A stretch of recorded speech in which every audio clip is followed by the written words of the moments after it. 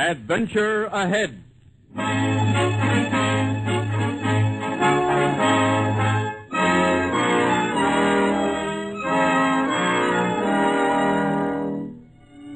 The National Broadcasting Company presents another in the series of famous stories for the young of all ages Adventure Ahead. This week, The Biscuit Eater by James Street, a story of hunting dogs and the men and boys who raised them. The story of a scrawny little water eyed pup that folks down south wouldn't have called a biscuit eater.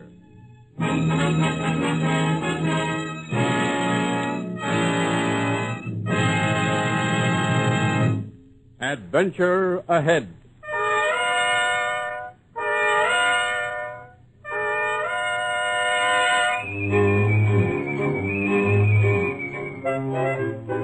Seven new arrivals came to Harvey McNeil's place down in the piney wood country of Mississippi, and two young men were soon on hand to welcome the furry little strangers. Well, hello, boys. Morning, Papa. Howdy, Mr. McNeil. That's Kyla Ernie, ain't you, boys? We come to see Bonnie Blue's new puppy. Oh, That's right, Mr. McNeil. We can see him, can't we? I reckon so, if you're careful of him. Come on in the shed. All right. There they are, boys. Golly. All seven of 'em. Bonnie Blue. Look at them little old pups. Golly, they sure as little. Ain't hardly got their eyes open, Mr. McNeil. No? Could I hold one of them, Papa? Could I? Uh, sure, Lonnie. Handle 'em easy. Oh, Bonnie's got her eye on you. You hurt one of 'em, and she'll jump you like a blue jay jumps a June bug. I'll be careful. Hiya, puppy dog. How you doing, little old puppy dog? That they's going to make first-rate bird dogs. Yes, sirree, bobtail. They ought to make good hunting dogs. Bonnie Blue was a grand champion in a day. Almost as good as our Silver Bell. Mr. Ames's pointer? Uh-huh. That Mr. Ames show owns a lot of superfarm bird dogs. Well, he's a sportsman, Tex. He likes dogs, particularly champions. That's why I like to work for him. Bet these dogs will be champions, Mr. McNeil. Gee, Minetti, they'll take the birds easy. Well, it's more than just that, Tex. They'll have to be trained and looked after for a long time. Maybe a year before they can enter the field trials. To take care of their eyes and ears, give them shots so they're healthy, right kinds of food. Golly, they must be a powerful lot of trouble. No, they're no trouble at all when you really love dogs. And you get a reward for your work, too, when they're real champions someday. Well, I'll just put you back with your mama, little old puppy dog, 'cause you're going to be a champion someday. There. Mr. McNeil, how long do you expect it'll be till these little old pups wins the ribbon at them field trials? oh, they won't all be champions. Huh? What do you mean, Papa? Well, boys, there's a difference between those seven pups. They, yes. Look all the same to me. What makes them different? The bloodline. Huh? Well, most every litter of puppies has a doubtful strain. Bad streak from their pappy or grandpappy who wasn't so good.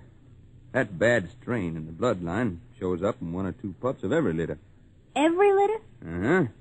Now, you take these seven little pups. Their pappy was a fair to middling bird dog. Till he started killing Farmer Eden's sheep. Yes, I know. What happened to him? Had to shoot him, Tex. That's the code of the piney woods. If a dog kills sheep or chickens, he has to die. Hmm. That bad streak or strain most always shows up in the litter. It always comes out. But how can you tell? Oh, it's not hard, Lonnie. You mean one of these little old puppies is a is a bad one on account of his pappy? Yeah. Well, well, which one? Well, this little scrawny one. Here on the end. Up you go, boy. See the size of him, boys? Uh huh. He's sure a little pup. Yeah, he's the runt. Scrawny spots all over him like freckles. Stringy tail. Never make a champion. In other words, this dog's just a, a biscuit eater. A biscuit eater? Means that that's all he's good for, is to fetch his own food, his own meat and biscuit. Yeah, boy. Means he'll probably turn out to run rabbits and kill sheep and chickens just to feed himself. A biscuit eater's a no-count dog, all right. But, Mr. McNeil, this little old pup don't look like a biscuit eater. Well, I'll tell you one thing, Tex. Yes, sir? This one won't be trained in my kennels. Well, well, what you gonna do with him, Papa? Have to take him away, son. But but why? This is little pup's of no account. Why, he'd be giving me nothing but trouble if I let him grow up. You mean you're gonna kill him? Now, don't look at it that way, son. You shouldn't do it. But, son. I was a run. I got freckles. Why don't you drown me? Now, Lonnie, don't talk that way. Well, Well, there's a batting in most every litter. This is just a no-good pup. But tain't his fault, Mr. McNeil. Papa, I don't want nothing to happen to him. I don't either.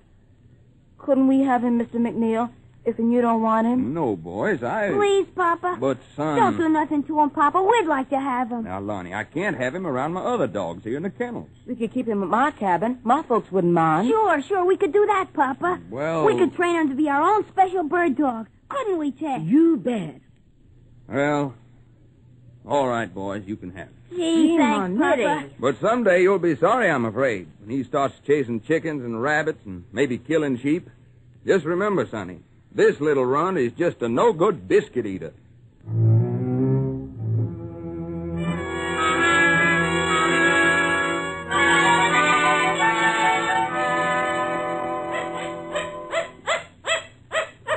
We got us a dog, Lon. A real show enough dog. Uh-huh. And it's all our own, too. Ain't he a beaut? Sure is. Come here, little old puppy. Come here, boy. Look at them big old eyes, and them big old feet, and that big old short tail. Uh-huh. Bet he can point birds from here to yonder. Bet if he tries, he can point partridge on light bread. He's a fine dog, all right. I hope your Aunt Charity don't mind us keeping him here at your cabin. No, she don't mind. You call him, Tex. See if he comes to you. Here, pup. Here, pup. Here, puppy dog. Uh, looky here, Lon. He comes right over. Sure. I just know he's going to be a fine bird dog when he grows up. Well, I hope so. Say, What? we ain't got a name for our dog. Gee, no. We gotta have a name. What do we call him? Uh, how about Moreover? Moreover. Uh-huh. What kind of name is that? It's a Bible name. It is? Why, sure enough. It's in the Bible. Whereabouts? I don't know exactly, but I heard the preacher say so. He said, Moreover the dog followed Noah. He did? Moreover the dog. That's right. Well, if moreover's good enough for the Bible, I reckon it's good enough for us. That's what we'll call him. Howdy, little pup. Your name's Moreover. Yes, the Moreover. What you think of that? See there, Lon. Uh-huh. He likes the Bible name, don't you, Moreover? when we going to start training him, Lon? Well, the sooner the better, I reckon. We're going to train him like your pappy trains his dog? Sure. Near as I can remember how my papa does it. Mr. McNeil sure makes champion bird dogs. Kind of wish he'd train our little pup. Huh? He wouldn't. You heard him say he's a, a biscuit eater. Hush up, little old pup. Besides, my papa's too busy training Silver Bell. Mr. Ames' dog? Uh-huh. I just hope our little old pup turns out to hunt like Silver Bell. Well, she's already won four ribbons at the county field trials. Golly. Bet Mr. Ames is a heap pleased with her. A real champion. He's up at our place now. Mr. Ames? Uh-huh. Comes down once a month to talk to my papa and see all his dogs. Guess we wouldn't do so good if it wasn't for Mr. Ames. What you mean, Lon? Well, he pays my papa for raising his hunting dogs and, and his champion dogs for the field trials. 'Cause Mr. Ames likes to have pure D first-class bird dogs. I'm glad he ain't got Moreover. Huh? Mr. Ames wouldn't have no truck with our little old puppy dog. Why not? Well, on account of my papa says we got a, a biscuit eater. Say, long, Huh? look at Marvin. He acts just like like he knew what a biscuit eater is. Golly. Well, he sure does. Reckon he really knows what a biscuit Hush it. Don't say it. Huh? Oh, no. We mustn't, must we? Remember what that name means? Yeah. We got us a real intelligent dog here, Tex. We gotta be careful. Never to call him a, a you know what. Golly, yeah. You just cheer up, little old puppy dog. We ain't never, never gonna call you that name again.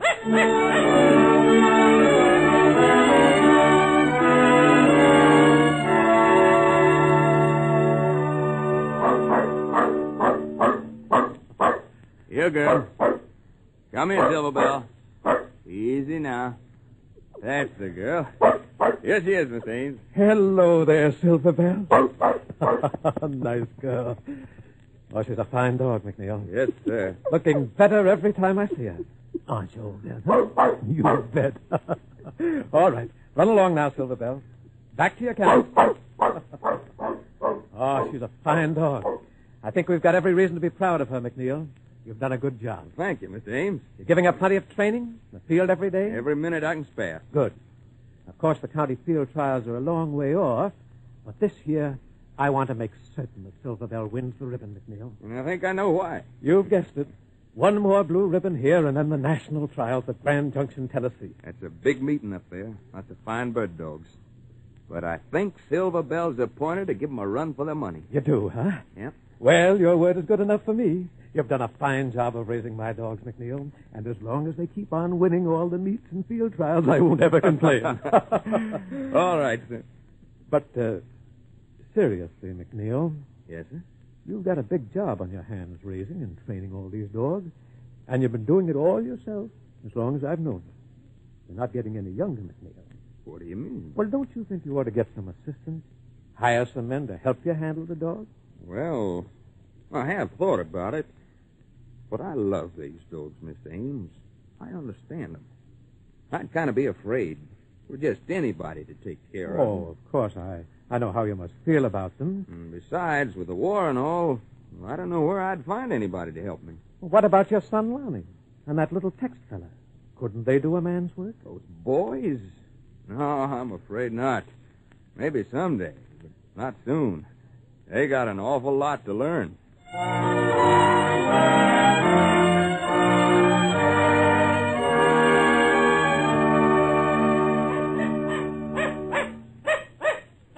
Hey, hey, you, moreover. Moreover, come here, boy.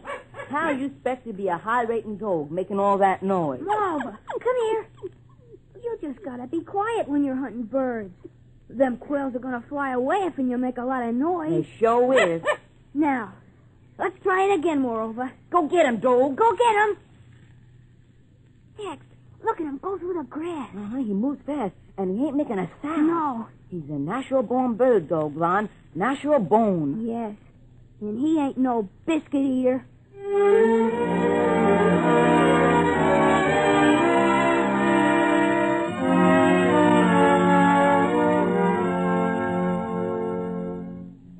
Well, boys, still trying to train that dog. Yes, sir, Mr. McNeil. We're gonna use a shotgun over him tomorrow. That's so? And Shorty lend us third gun. Well, you boys be careful.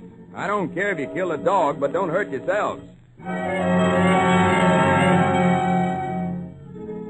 Easy now, moreover. Easy. You got it, Lon. Hold that point. Fetch him, moreover. Fetch them birds. Lon, he sure is a good bird dog.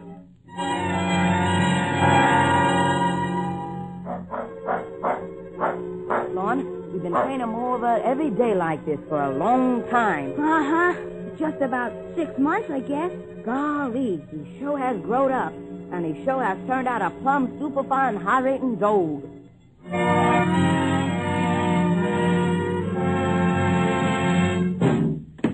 Oh, hello, son.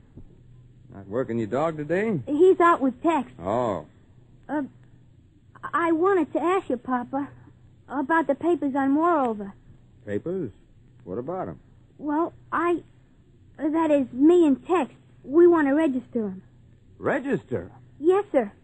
Uh, we'd like to have his papers if you got 'em. Oh, I reckon they're around here someplace. But, well, I don't see what good they'll do you. Only time you might need 'em was if you was going to enter a field trial. or were you thinking of running that dog in a trial at the county seat next month, huh?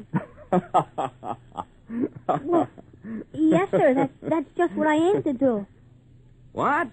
I want to run Moreover in the county trials next month. But, but you ain't serious, son. Yes, I am. but Lonnie. Stands a good chance to win as any other dog up there. All right, all right. But it costs money to enter a dog up at the county seat. Where'd you figure to get the entry fee? I hadn't thought about that. Son, you haven't got a chance at the trials. Why, that that dog of yours is just a biscuit eater. He ain't either. Why, he don't even like to be called a biscuit eater. Me and Tex ought to know. He ain't a biscuit eater. That still remains to be seen, Lonnie. Well, well, anyway, me and Tex want to run him in the county trials. We want to give him a chance. You mean it, don't you? Okay, son. I'll tell you what I'll do. Yes, sir? I'll give you and Tex a job. Painting all McKinnell houses. You can earn your entry fee. Jim and Nettie. Is it a go? Yes, sirree, Bob. I'll stake your dog to the entry fee if you want to throw your money away. But don't say I didn't warn you of one thing. What do you mean, Papa? Silver Bells entered in that field trial.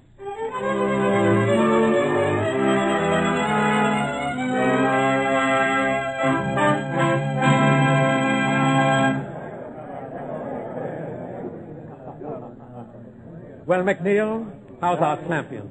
Ready for the big show? All set, Mr. Ames. I saw you drive in a while ago. Quite a load on your truck. well, yes, sir. Two boys and two Uh. dogs. Brought Lonnie and Tex with me. uh, two dogs. Yeah, the boys have got a pup they're entering in. The... Oh, a little competition for Silver Bell, huh? Well, not hardly.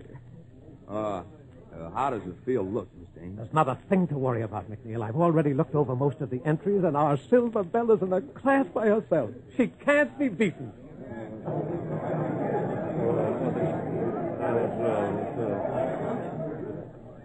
How is he, Tex? How's our little old dog? Just wait, Lon. I've been brushing him down. Gee, more of a look mighty fine. What'd you find out from the judges? Oh, it looks easy, Tex. You do? When our turn comes, we get two chances to point a covey of quail out in the field yonder. Uh-huh. And the judges watch the dog and me, and when moreover's made a point, they give us a regular mark for how good he is. Golly. Hope we get enough marks to win. Only one thing worries me, Tex. What? Well, the judges paired up all the entries so two dogs run the field at the same time. And our dog's going to work the field with Silver Bell. Silver Bell? Uh huh. We're the last two dogs on the meet. Well, what's wrong with that? Well, don't you see, Tex? Silver Bell is Mr. Ames's dog that my papa's raised and trained. And if, if moreover was to beat out Silver Bell, well, Mr. Ames is liable to get riled up and, and my papa might lose his job. Golly. I never thought of that. I want moreover to win, I wouldn't want that to happen. Your pappy talk about it to you? No. Reckon he don't think we got a chance to win. I sure wish we could win. So do I, Tex. Hey, here they come. Both of them. Huh? Must have come from the judge's booth. Well, well, well. Hello, boys. Howdy, Mr. Ames, Well. Mr. McNeil. You busy, son? Yes, sir. Well, well, hiya, boy. So this is the other entry from the McNeil kennels, huh? Yes, Mr. Ames. Name's Marva. He's a natural-born bird dog. Was that so? I understand your dog is running against my Silver Bell in the last contest of the meet. Yes, sir. I hope your dog don't show up Silver Bell too bad in the finals, eh, Mr. Ames? hey, we'd better get back to our kennel, McNeil. The field trials are about to start. Yes, sir. Goodbye, boys. And good luck. Thank you, sir. Uh, we'll meet at the truck, boys, when it's all over. Yes, sir, Mr. McNeil. Papa. Wait a minute, McNeil. Huh? Uh, that dog back there. What about it? Did you take a good look at that dog? Well, uh, Well, he's mighty well built. His legs, the muscles, and, and the way he holds his tail. well, he may look like a champion, Mr. Ames. That dog's no good. You don't think he's a threat, huh? That dog? Not a chance. Silver Bell couldn't lose against a hound like that. Yeah. Dog that ain't been brought up right or trained proper. You take my word for it, Mr. Ames. That Morrow was just a biscuit eater.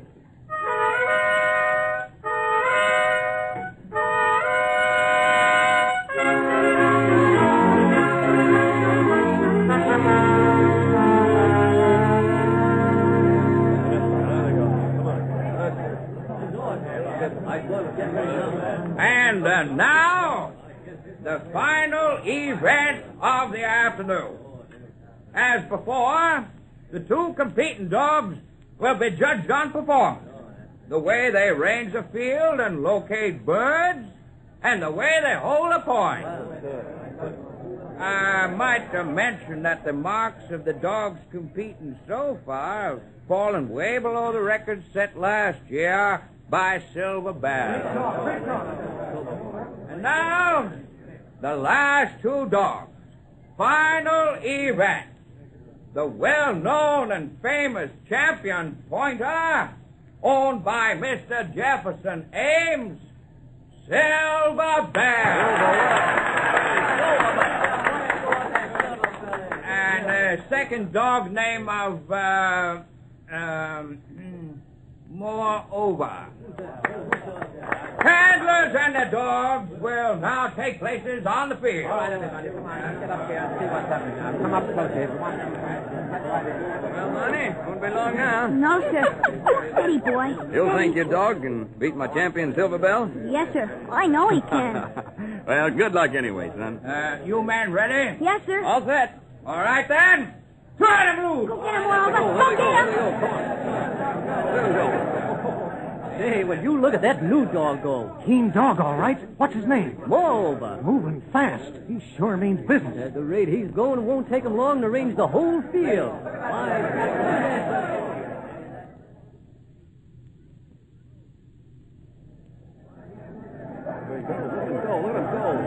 That moreover's a real dog, Mr. Ames. Running circles around your Silver Bell. Yes, I. I never saw anything like it. Yeah, knows his stuff.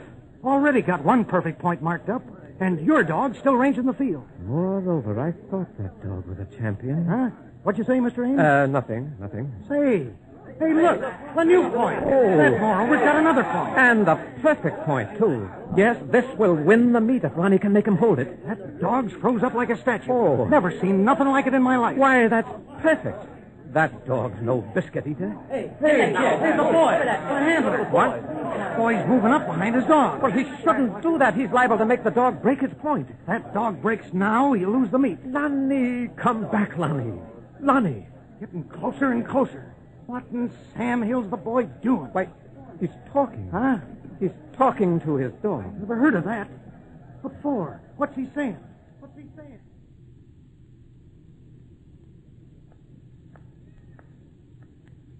Steady now, boy. Steady. Moreover, I wish you could win this meet. And right now, if you just hold still another minute, I reckon you could be champion. A real champion. I can't let you win, moreover. Much as it hurts me way down inside. Because if Mr. Ames's dog don't win, my papa loses his job. Try to understand, little old dog. I'm to make you break your point. I don't want to do it, moreover, but I have to. Break that point, moreover. You hear me? Break your point. Let the birds go, moreover. Break it. Break that point, you, you biscuit eater.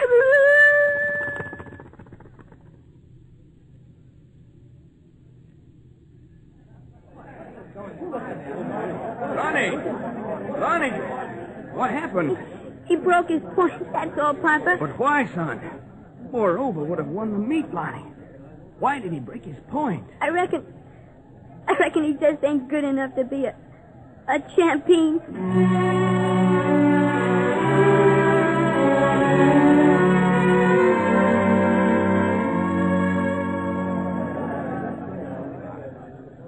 Well, Mr. Ames, Silver Bell won again. Yes.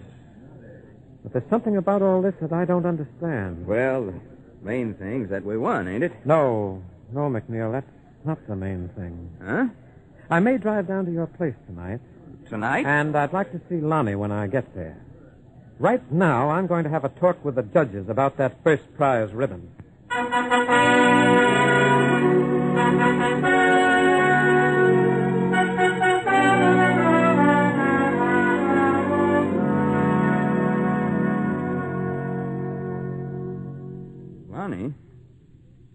Yes, Papa?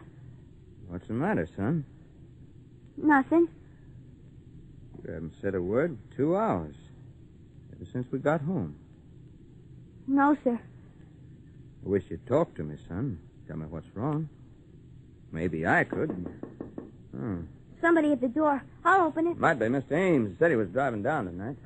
Oh, hello, Tex. Hi, little home. My little old dog. And I couldn't keep more of it down to my cabin. He just kept carrying and carrying on. He's happy now, ain't you, moreover? Well, Tex, Howdy, Mr. McNeil. still loyal to that dog after the trick he pulled on you today, huh? I couldn't hold him. He just had to see Lon. Ah. He misses me, Papa. He don't want to stay down in the cabin. Yeah, nevertheless, he'll have to. I reckon that's Mr. Ames. I'll let him in. He's sure a fine dog, Lon. Moreover, I won't ever hurt you again. Well, hello, Miss Ames. Come in. Hello, McNeil. Ah, Lonnie's still up. Good. Hello, Lonnie. Tex? Evening, Mr. Ames. Boys have your dog with you, huh? Yes, sir. Well, that's good. Because I want to talk about this dog. Huh? What do you mean, Mr. Ames? What's the matter? Seems to be a lot the matter, McNeil. First of all, you were wrong about this dog. You don't know as much about dogs as I thought you did. Huh? But that's partly my fault, maybe. We were both too proud of Silver Bell and not proud enough of this dog. What are you getting at, Mr. Ames? Moreover, good boy. Take a good look at this dog, McNeil. Well, You're looking at a champion. champion. A champion. Champion. I had a little talk with the judges, boys, after you left this afternoon. They gave me something that rightfully belongs to you and your dog. Here. The, the. Well, I'll be doggone. The first prize. That's right, boys. But Look at here, moreover. The first prize blue ribbon. what is all this, Mr. Ames? Well, moreover, happened to win the county trials today. But but Silver Bell. I uh, withdrew Silver Bell. Had her disqualified. You what? But but why? Why? I'll tell you why, McNeil, because your son here is too much of a man to ever tell you himself. Lonnie? What happened? Lonnie threw the championship this afternoon so that Silver Bell could win. You see, somehow he had the mistaken idea that the field trial meant more to you and me than it should to a couple of sportsmen. Is is this true, son? Yes, Papa. I don't say I didn't hate losing that meet today. I thought Silver Bell was the greatest bird dog of all time. But it took a young man, a lot braver than I, to prove that I was wrong. And I, uh, I reckon I was wrong, too. From now on, Moreover's going to stay here where he belongs. Gee, Minetti. Hey, Papa, that'll be fine. And, uh, one thing more, McNeil, Yes, Mr. Ames? about the help situation. You think you might be needing some good, experienced dog handlers? Well, I, uh, I reckon I could use a couple. Uh-huh. Two, maybe? Yeah, but uh, good men ain't easy to find these days. No. But I happen to know of two men who just filled the bill. Who, Mr. Ames? Well, uh, the two men that I had in mind are right here in this room. That's the funny thing, Mr. Ames. I was thinking of the same two fellas. Uh, you reckon they'd be interested? Golly, yes, sir. I'll say. How about it, moreover?